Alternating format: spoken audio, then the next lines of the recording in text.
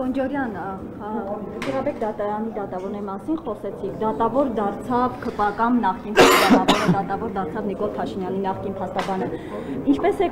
արձագանքում այն պնդումներին, որ Ջրաբեկ կարծես թե դառնում է ԿՊ-ի գրասենյակ։ Ես այդ պնդումները համարում եմ նորից մեր կապարանոց, որովհետև տեսեք,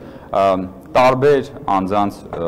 հետ կապված նմանատիպ շահարկումներ անում են, որ այս մարդը աշխատել է ձեզ հետ, այս մարդը աշխատել է վարչապետի ենթակայության ներքո, այս մարդը եղել է ժամանակին փոխնախարար, օրինակ ասենք Քրիստինե Գրիգորյանի հետ կապված ասում են, որ նա աշխատել է փոխնախարար, ներողություն, ներողություն, ներողություն, դա ԽՑԲ չէ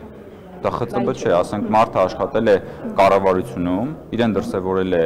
բարձր պրոֆեսիոնալիզմով եւ արժանինքներով եւ այդ մարդը այսօր զբաղեցնում է այլ պաշտոն։ Դա ոչ միայն ԽՑԲ չէ, դա ուղիղ հենց մարդու արժանինքները գնահատելու կարևոր ներողություն, ներողություն, մի ընդհատեք ինձ։ Դուք հիմա ինձ հետ բան, դուք հիմա լրագրող եք, թե քաղաքական գործիչ, իմ հետ բանավիճում եք։ Դե դե ուրեմն լրեք եւ լսեք լրեք եւ լսեք։ Թույլ հարցս ավարտեմ։ Դուք որ լրատվամիջոցից եք։ Ահա, հասկանալի է։ Հիմա վերջացրեք եւ խնդրում եմ ել մի ինձ ընդհատեք։ Խնդրում եմ այդ հարցին էլ պատասխանել նախկինների պնդումները։ Ձեր բոլոր փաթեթային հարցերը խնդրում եմ տակ, որպեսզի հետո լրեք։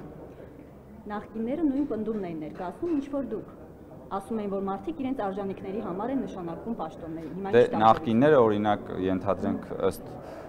տեղեկատվության նախկիներից մեկն էլ 5-րդ ալիքի հետ շատ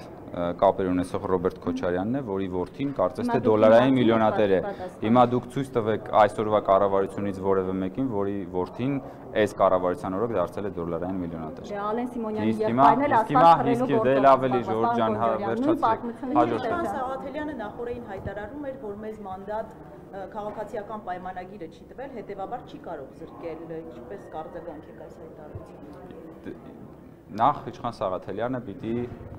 կարդա, եթե գիտի կարդալ։ Ես ենթադրում եմ, որ գիտի։ Օրենսդրությունը սահմանում է կոնկրետ ընթացակարգեր, որով որ падգամավորը կարող է զրկվել մանդատից։ Падգամավորները, այս դեպքում քաղաքացիական պայմանագիրի, եթե դիտարկում ենք, ազգային ժողովի խորհրդի ֆորմատով կայացնում է որոշում եւ դիմում է համանդրական դատարան։ Մանդատներից զրկում է համանդրական դատարանը Հետևաբար Իշխան Սաղաթելյանի կատարած հայտարարությունը